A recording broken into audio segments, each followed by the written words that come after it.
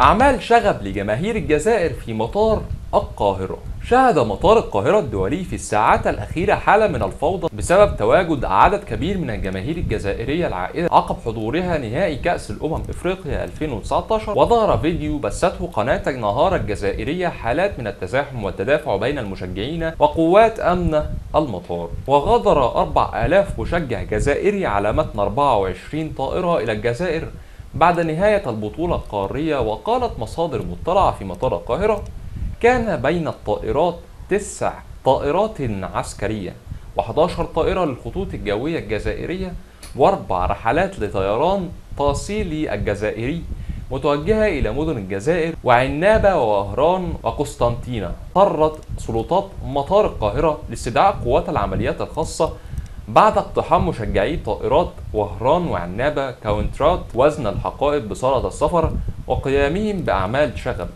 وتابعت تسببت كثرة المشجعين وقيام بعضهم بالشغب في تأخر إقلاع كل الرحلات ما بين الساعتين وخمسة ساعات.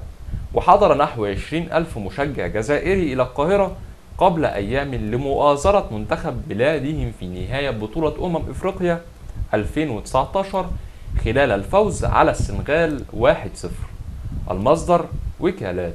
في نهاية الفيديو لو قدمت لحضراتكم معلومة جديدة أو خبر استفدتوا منه ما تبخلوش علينا باللايك والاشتراك في القناة. بحبكم جدا وبحب تعليقاتكم وأشوفكم فيديو جديد والسلام عليكم ورحمة الله تعالى وبركاته.